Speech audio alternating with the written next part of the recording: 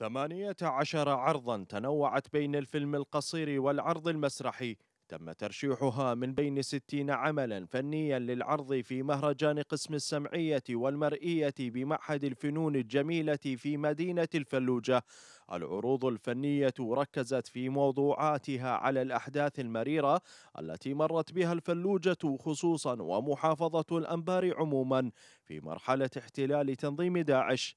من خلال ترشيحنا لمجموعة من الأفلام اللي هي تجاوزت 60 عمل. اختارينا تقريبا 18 عمل. هذه الأعمال هي برزت ما مرت به من معاناة هذه المدينة وأيضا خصوصا المواطن الأنباري بصورة خاصة من نتيجة الحروب من معوقين من أمراض التوحد. بناية معهد الفنون الجميلة في الفلوجة.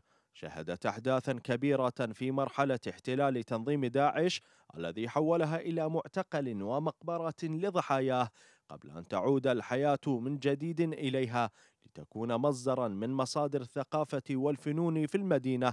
الكل يعرف الظروف التي مرت بها المدينة القاسية والمدمرة ف بدينا نتجاوز هاي المرحلة إن شاء الله وأسسنا لنواة فنية ثقافية توعوية جديدة من خلال مشاركة الطلاب والإقبال على الفنون بشكل عام. فنانو الأنباري شددوا على أهمية اختيار المواضيع التي تعبر عن رسالة حقيقية للفن لتشكيل نواة إبداعية تهدف إلى الارتقاء بواقع المدينة الثقافي.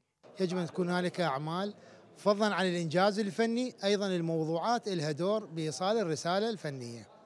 فنتمنى أنه يكون أيضا التوجه نحو إذكاء روح الفن من حيث الفكرة والأداء لأن الفن رسالة. ومن المؤمل تحويل مهرجان قسم السمعية والمرئية في معهد الفنون الجميلة إلى دوري في كل عام بما يمكن الطلبة والأساتذة على حد سواء من تطوير قدراتهم الفنية. قبل بضع سنوات كانت أصوات المعذبين تصدر عن هذا المكان الذي كان يعج بصور الموت التي خلفتها أيادي عناصر تنظيم داعش لكنه اليوم ينهض من جديد ليمحو آثار تلك الحقبة القاسية ويستعيد ألقه وإبداعه السابقين.